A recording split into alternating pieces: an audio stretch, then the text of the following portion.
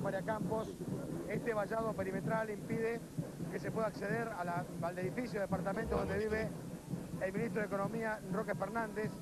60 policías están custodiando detrás de este vallado perimetral el portón de acceso a este edificio de departamentos.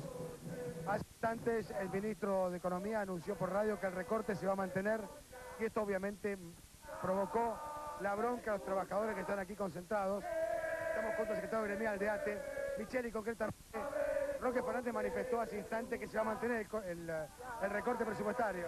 Sí, este señor no le alcanza con, con la protesta de los estudiantes, de los maestros, con la protesta de toda la comunidad, de todo nuestro pueblo, y sin embargo reafirma la barbaridad de seguir con las tijeras, como le hemos llamado al ministro Mano de Tijera. Nosotros decimos que hay que ajustarle a ministros como Herman González, que tiene una jubilación de 8 mil pesos, porque ellos son los verdaderos responsables de esta crisis.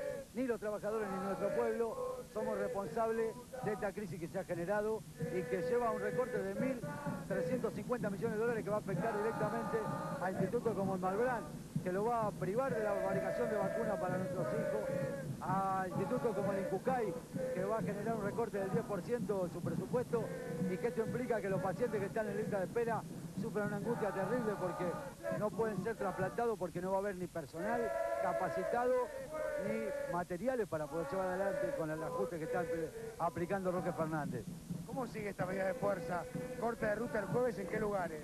Nosotros vamos a hacer el jueves una protesta nacional que la aprobó nuestro Congreso de ATE, que explica un corte de las avenidas principales, como por ejemplo la avenida 9 de Julio y Belgrano, va a haber un corte en la avenida Paseo Colón y Belgrano, en Rivadavia y Entre Ríos, en Diagonal Norte y Rivadavia, en Caseros Entre Ríos, en General Paz y Constituyente, en la avenida Pueyrredón y Las Heras, y en las principales rutas del país, como por ejemplo el acceso oeste, que lo van a hacer los compañeros del Hospital Posada.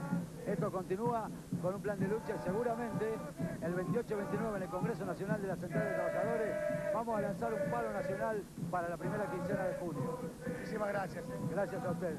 Bien, Santo. Esta protesta continúa frente al edificio donde vive el ministro de Economía, Roque Fernández. Te escuchaba, Santo, que se habla de cortes de rutas el jueves. Concretamente, la expectativa estaba centrada aquí, que una vez que, se, que el Congreso ha dado un paso atrás con el recorte al presupuesto educativo, ellos creían que realmente se podría dar un paso atrás en recorte de la educación. Esto no es así, por ese motivo están aquí realizando este escrache frente al edificio donde vive el ministro de Economía, Roque Fernández. Usted es en estudio, Santo. Muchas gracias, Antonio Fernández.